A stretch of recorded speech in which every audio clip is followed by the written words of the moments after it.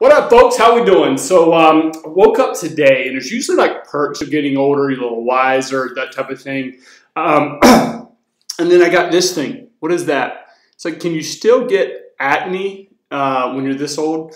Anyway, thought that was past that. Guess not. So the rest of this video, you're going to be looking at that the whole time, I'm sure.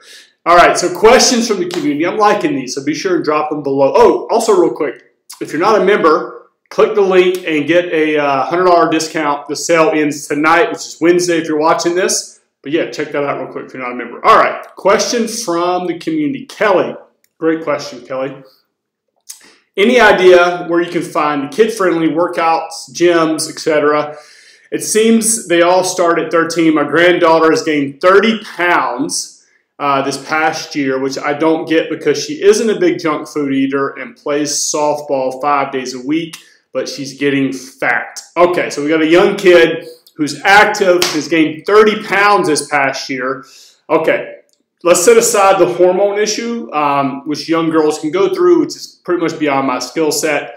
Let's talk fitness and nutrition, which is something I feel more confident in. Now, get, let's just take a step back and look at our culture uh, from a distance. You know, one, one thing that's interesting to me and slash really sad is again, I'm from a rural town in North Florida, and my mom's in education. And I go back there and I look at the kids now, and a lot of them are obese, and a lot of low income families that are obese. And normally, you know, when I was growing up, if you were low income, you didn't eat as much, and you were typically really thin.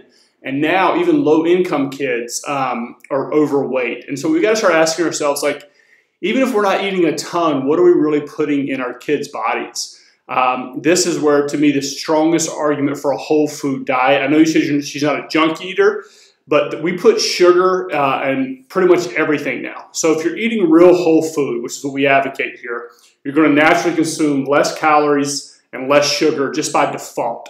So you can start with the Whole 30 program with your grand granddaughter. That'd be a great place to start. We have a meal plan if you're a member. Just hit the Eat tab and it's a, a whole food plan there as well. But Whole 30's got a great program for you to start with her. And then as far as the workouts go, I'm a big fan of teaching kids how to support their own body weight. So I would have her do our TMAC 20 workouts, beginner or advanced, either one, depending on how her level of athleticism at that age. But have her do those, and again, get in your step count. It sounds like she's pretty active. She's playing softball. Again, I don't know as much about her practice schedule. Some some trainers or softball coaches are great at keeping them active. I've seen some softball coaches where they sit on their ass and just sit in left field the whole day and don't do a lot of exercise. So just because you're playing softball doesn't mean you're moving a lot. All right, and the idea that even in third, maybe you run a few gassers at practice, the majority of people now are on their phones, including kids, way too long. They need to be, you need to wear those kids out. So have them do the TMAC 20 workouts, eat a whole food diet, keep them active throughout the day that's a great place to start. And blessings and love to uh, you for Kelly for writing that in. And I know you're concerned about your granddaughter. All right. Oh, one more quick thing on that, real quick. Again, as we take a step back.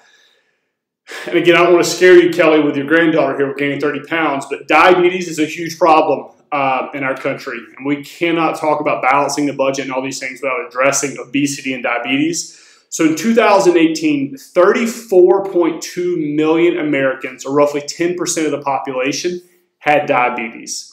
What's even more scarier is 88 million Americans are estimated age 18 and older have pre-diabetes. So 88, in addition to the 34, 88 million don't even know they are going to be diabetic and they will be shortly. So that is a huge concern. That adds up to almost roughly a little less than third of the population here. All right, so that's just some uh, stuff to scare your ass straight and get you on a whole food diet.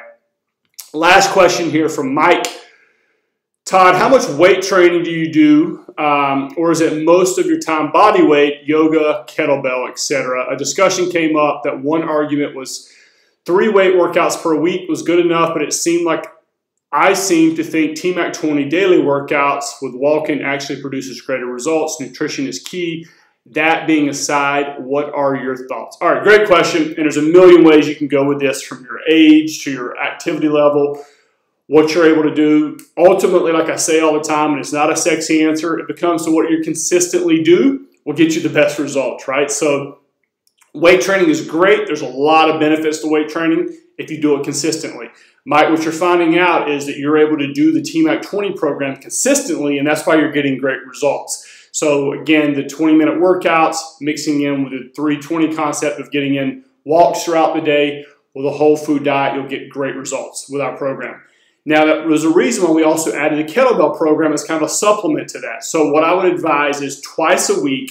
So you've got your calendar on your TMAC membership, and you notice that Monday, Wednesday, Friday, we have hit, HIIT workouts, right? TMAC 20 HIIT workouts.